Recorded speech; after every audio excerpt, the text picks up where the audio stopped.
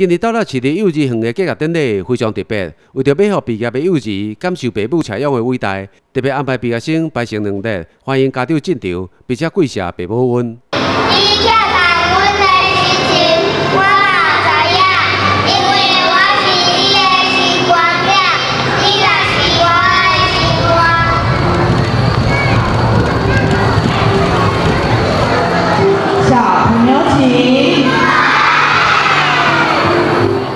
所来毕业班的老师也就台接受毕业生奉茶，感谢老师这三年来教育之恩，和老师也真感动。所以阿妹安那好，咱的囡仔自细汉就知影讲要怎么来孝亲，要怎么来感恩，包括都讲对于咱的老师一杯的奉茶，从这个小的地方，咱就知影提醒品格教育要扎根，越小越好。到了市立幼儿园，即届拢总有一百五十二位毕业生，由市长甲管理员等人轮流就台颁发毕业证书甲纪念品，并且地处勉励即群小朋友。谢谢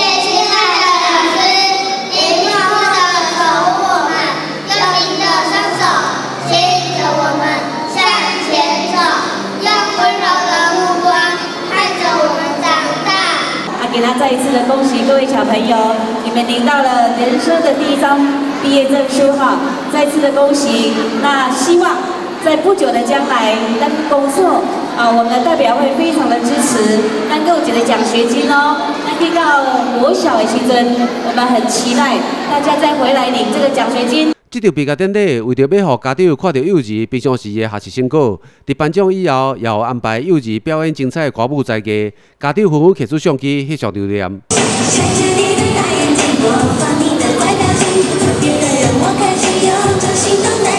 幼儿是国家未来主人翁，出席的来宾也拢期待幼稚园未来会当提供更加适合的教育，让小朋友快乐完成幼稚教育。